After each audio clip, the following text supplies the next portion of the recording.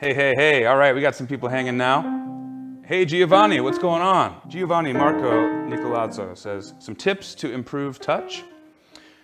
Okay, so Marco's asking about touch. Now, what does touch mean? We all know what touch means in life, but at the piano and in music, we're typically talking about not only the way that our hands and fingers interact with the instrument, but also the articulation and the sound that comes out of the instrument as a result of our touch.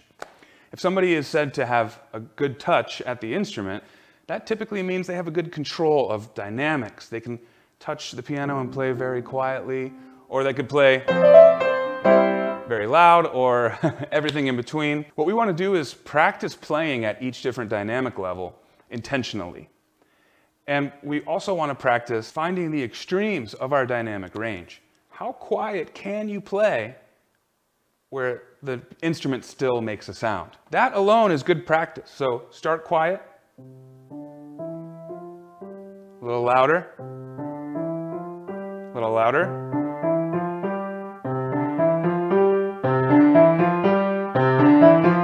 Once you can do that with both hands together, right, whatever the volume is, whatever the dynamic, both hands are doing it. Once you can do that, try then splitting the hands. So try a quiet dynamic in the left hand and a loud dynamic in the right hand, for example.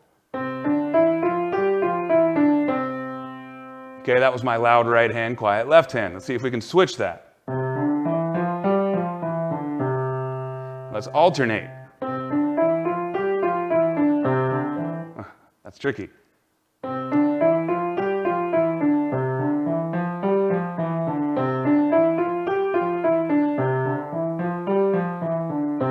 The idea is you want to have one hand ring out and the other one tucked back dynamically.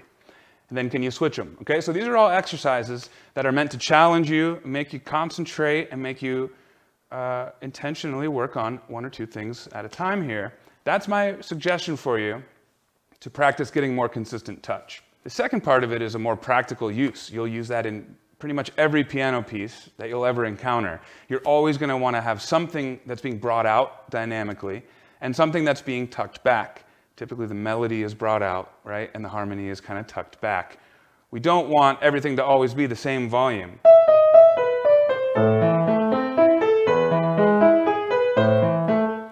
That's not the best example because it's not really a clear melody and harmony differentiation, but I think you get the point. Every piece of music you encounter at this instrument, you're going to need to bring something out and tuck something back. So it's great practice. That all has to do with touch. All right, guys, thanks for watching. I'm Phil. Don't forget to hit subscribe and tap that notification bell. And be sure to check out the Playground Sessions interactive app. It was co-created by music legend Quincy Jones. Playground teaches the piano with interactive feedback and gaming features, all while using your favorite songs.